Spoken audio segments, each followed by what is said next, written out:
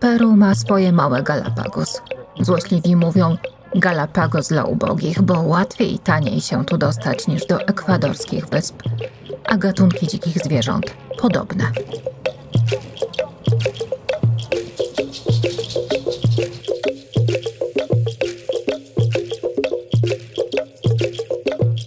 Islas Ballestas.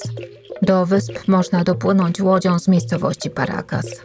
To przystanek w połowie drogi między Limą a Nazca. Na wyspach wysiadać nie będziemy. Dlaczego? O tym już za chwilę. Pogoda dopisuje, choć na łodzi mocno wieje, przez co potęguje się uczucie chłodu na twarzy. To złociste światło potrafi oszukać zmysły. Wzrok rejestruje wakacyjną widokówkę. Od razu robi się cieplej. Wielki błękit, bujające się łódki na delikatnych falach, relaks i pierwsza niespodzianka. Nie każda grupa ma tyle szczęścia. Delfiny z radością ścigają się z naszą łódką.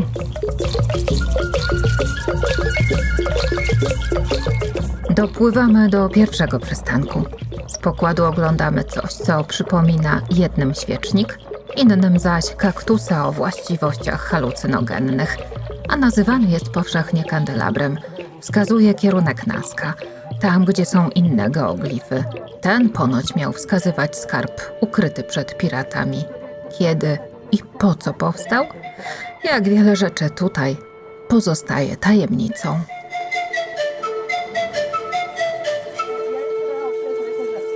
Płyniemy do kolejnej wyspy. Na skale niemal wtopione w tło stoją pingwiny Humboldta.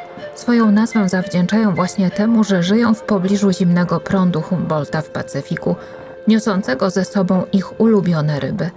Sardynki stanowią ważną część ich codziennego menu. Czarnobiałe ptaki zakładają swoje gniazda na skałach wyściełanych grubą warstwą guano, czyli ptasich odchodów. To z tej przyczyny nie będziemy schodzić na wyspy. Już z daleka czuć charakterystyczny zapach nawozu, swego czasu droższego niż złoto.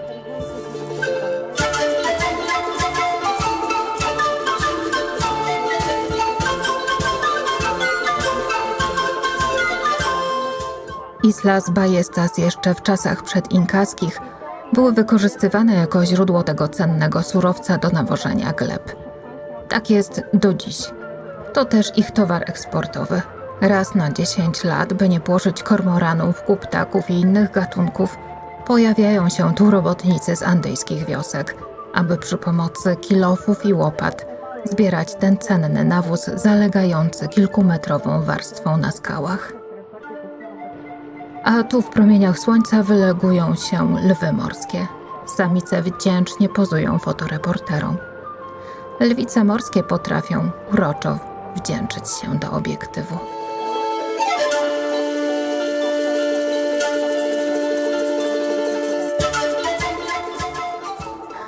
Z grzywą to samiec.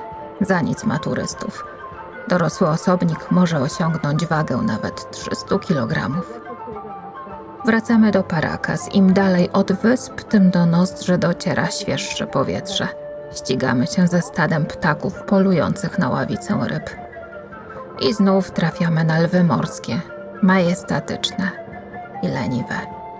Te w pobliżu łodzi rybackich liczą na łatwe kąski rzucane im przez miejscowych rybaków.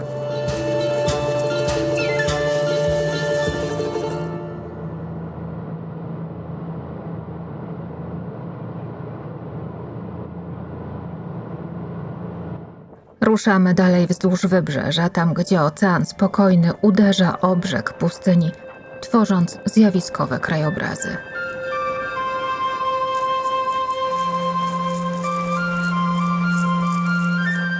Czerwona plaża w rezerwacie Paracas, pokryta kamykami ze skały magmowej, Playa Roja, robi kosmiczne wrażenie. Na plażę nie można schodzić, jest zbyt niebezpiecznie – Prądy oceaniczne ponoć porwały tu niejednego śmiałka.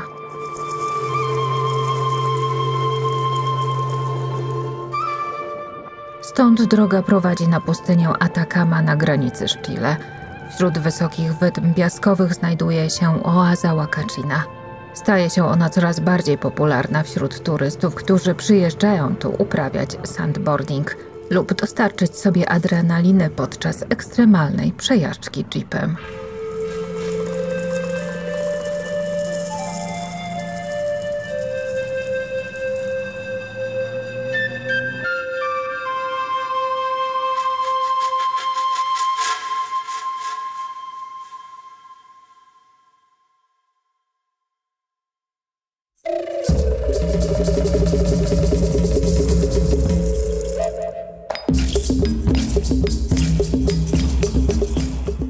Nazca, niewielkie miasteczko na południowy wschód od Limy.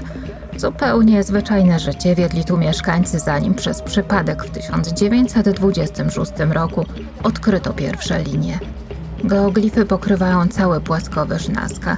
Linie są płytkie, mają zaledwie kilkanaście centymetrów głębokości. Przetrwały przez kilka tysięcy lat, bo tu praktycznie nie pada deszcz i nie wieje wiatr. O ich zachowanie walczyła przez dziesiątki lat Niemka Maria Reiche, która wcześniej pracowała jako tłumaczka profesora Paula Kosoka. Amerykanin jako pierwszy propagował teorię, że jest to największa księga astronomiczna na świecie. Miejscowi przewodnicy też przekonują, że to kalendarz, ale czasem potrafią zasiać nieco wątpliwości. To geoglif o oficjalnej nazwie astronauta. Miejscowi zaś mówią na niego alien. Obcego wyryto na wzgórzu i jest mniej precyzyjny od innych. Powód? Może czas jego powstania. Naukowcy wciąż się spierają o tę kwestię, czy geoglify mają 2000 lat, czy może jednak znacznie więcej. Nie ma też pewności, dlaczego powstały. Poza kalendarzem mogły pełnić też funkcje rytualne związane z przywoływaniem deszczu. Wciąż też dobrze się mają teorie, że rysunki na obszarze 50 km nie zostały stworzone ludzką ręką. Kosmiczne pochodzenie tych linii rozpropagował Erich von Daniken. Ta małpa jest bardziej precyzyjna od aliena, podobnie jak pies czy koliber. I pająk. Tych ogromnych geoglifów są setki. Niektóre zostały odkryte całkiem niedawno. Na tego kota natrafiono zaledwie dwa lata temu.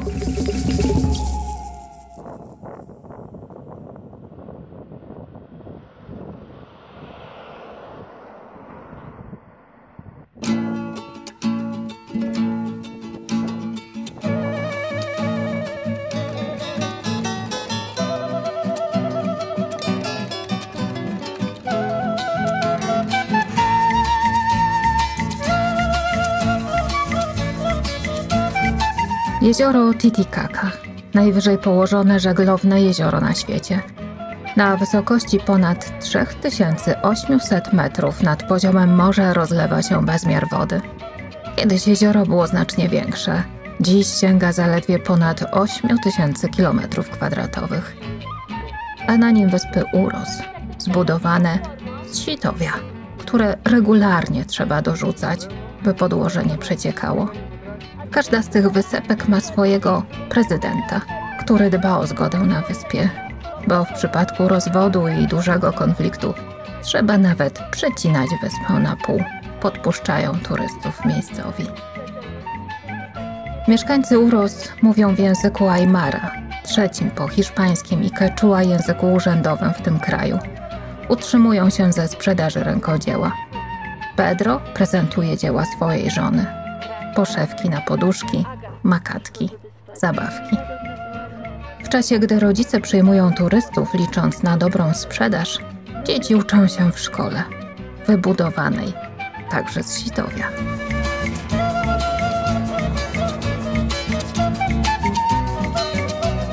Jezioro Titicaca na granicy Peru i Boliwii usiane jest też stacjonarnymi wyspami.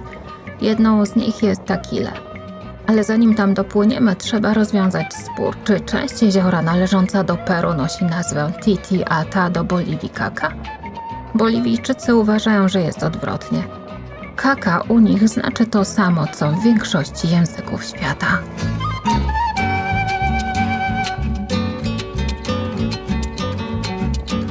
Inkowie wierzyli, że z wód jeziora wyszedł Inti, Bóg Słońca, a przedinkaskie legendy głoszą, że nad Titicaca po raz pierwszy objawił się Wirakocza.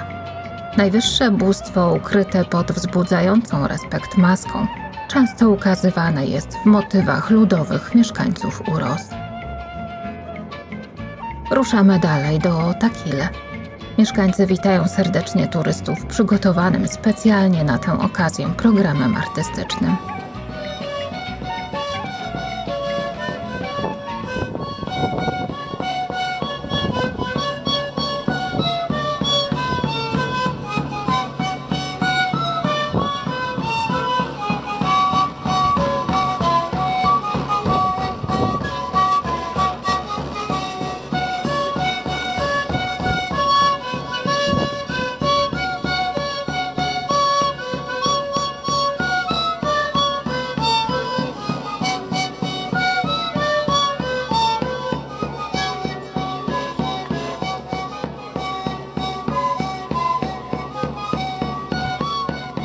Mężczyźni pozwalają się sfotografować, ale nie pozują do zdjęć, tym bardziej z turystami.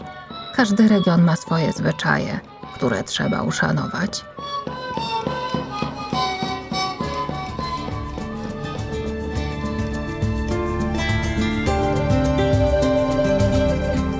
Wracamy do Opuno. Spokojne wody pełne pstrągów przecina silnik łodzi. Po drodze mijamy boisko na uros. Ciekawe, ile piłek utopili tu miejscowi trampkarze. Na koniec smutna historia. Legenda o tym, jak Bóg Wirakocza stworzył i ludzi, i pumy. Żyły oddzielnie, ale w przyjaźni rozumieli swoją mowę, ale w pewnym momencie przestali się rozumieć, a pumy stęsknione za człowiekiem zaczęły zawodzić na skałach. Człowiek, który zapomniał już kociej mowy, uznał, że to nawoływanie do ataku i spalił pumę. Gdy Wirakocza zobaczył szare ciała spopielonych zwierząt, zalał się łzami. Płakał tak długo, aż powstało jezioro. Titicaca w lokalnym języku znaczy tyle co szara puma.